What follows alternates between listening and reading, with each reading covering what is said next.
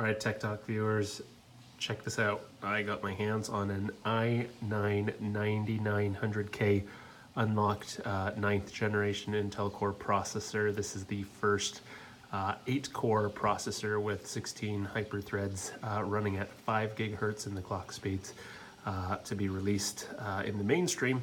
Uh, actually, uh, in general, from any CPU by Intel. Uh, these are extremely hard to come by. This was pre-ordered from Amazon and they finally uh, started shipping today, which uh, I received. It's packaged like a Destiny engram. Uh, you can see that this is a one, two, three, four, five, six, so dodecahedron, I think. Clever packaging. Um, it's mainly plastic and there is an Intel wrapper around the side here made out of cardboard that strategically is placed around the package itself. There's one uh, single sticker here that we can remove to peel off the outer layer. this is actually a tutorial how to even open your new CPU if you've got this because it took a couple of tries. Once you peel off this outer layer it unfolds like so and then you have this plastic casing.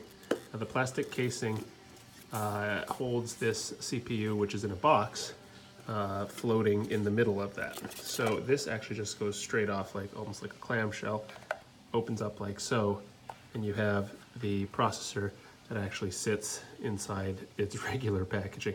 Now you'll notice that this processor, uh, one thing that it does lack is a cooler. So I think see, uh, seeing that this i9 series is now an enthusiast line, uh, they're going to uh, depend that you're going to bring your own cooler and not just a classic CPU fan.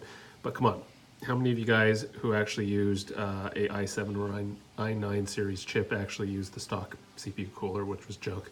Uh, I personally used the Noctua uh, D15 giant fan so that I can run it on minimum RPMs with as quiet a speed as possible.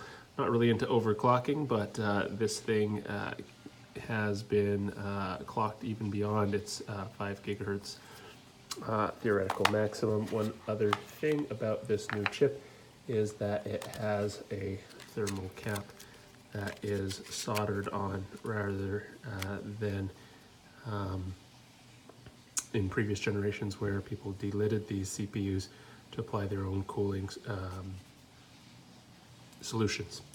Well, uh, let's get this put into our new Z90 system and see how it does. But that's it uh, for you know a retail price of it was supposed to be sub 500, but uh, this has been selling upwards to almost $600. Uh, this core better deliver.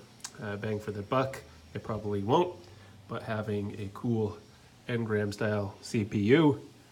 Um, packaging, you know, or having the engram style CPU packaging uh, is kind of a, a, nod toward gamers, uh, maybe towards Destiny. Uh, but in the end, uh, this packaging will sit on a shelf awkwardly as it doesn't hide well with the other boxes. Um, maybe we'll keep it as a souvenir. A novel nod to, just, uh, nod to gamers, though, nonetheless, nonetheless. So thank you, Intel, for being mindful of your audience. Intel I 9 9900K. Let's see how it does. Thanks for watching.